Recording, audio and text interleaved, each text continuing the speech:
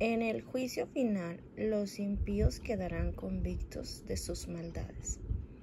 Los dos versículos últimos de nuestro estudio son reveladores de lo horrible que es vivir lejos de Dios. En el versículo 15 la frase hacer juicio contra todos muestra que el Señor viene como juez de todos. Su santidad rechazará la impiedad de los que no le recibieron. En el versículo 15 hallamos tres alusiones al descato de los malos. Estas son los impíos, sus obras impías y cómo han obrado impiamente. En el juicio ellos serán convictos de su insultante manera de vivir. Es imprescindible que cultivemos una conducta de piedad como fruto de nuestra fe.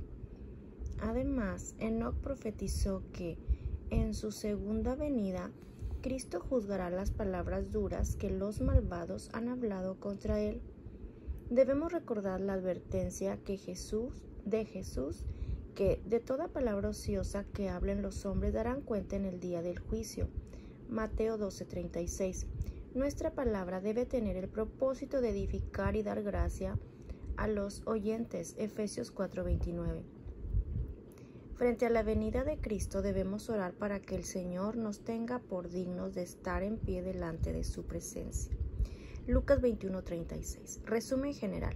Dios hizo al hombre para creer en él. Por tanto, cuando el ser humano sale de la comunión con su Creador, está muerto espiritualmente.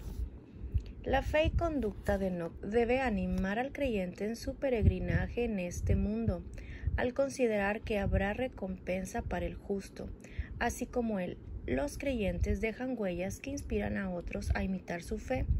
Por tanto, es imprescindible caminar con Dios. Si mantenemos firme nuestra profesión, al final del camino nos espera galardón completo.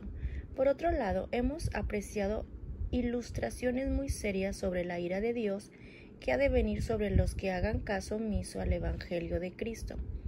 Así que el decidir Vivir lejos de los parámetros santos de la fe es parte del libre albedrío de cada ser humano, pero el que así decida conducirse no es libre para evitar la ira de Dios que le sobrevendrá. Preguntas 1. Mencione dos hombres del Antiguo Testamento que fueron traspuestos al cielo sin morir. 2. ¿Cuáles dos aberraciones de Sodoma Gomorra son mencionadas en Judas 7? 3. ¿Qué significa que Sodoma y Gomorra fueron puestos, por ejemplo, al sufrir el castigo? 4. ¿Por qué razones dice Judas que los impíos son manchas en los agapes de los santos? 5. ¿Cómo debe ser la conducta de quienes han alcanzado la misericordia de Dios? Para la próxima semana, la manera como Dios se relacionó con Noé para salvarlo del diluvio debe ser una advertencia para los santos hoy día. Por tanto, para la próxima semana vamos a tratar el tema los días de Noé y su paralelo con los tiempos finales.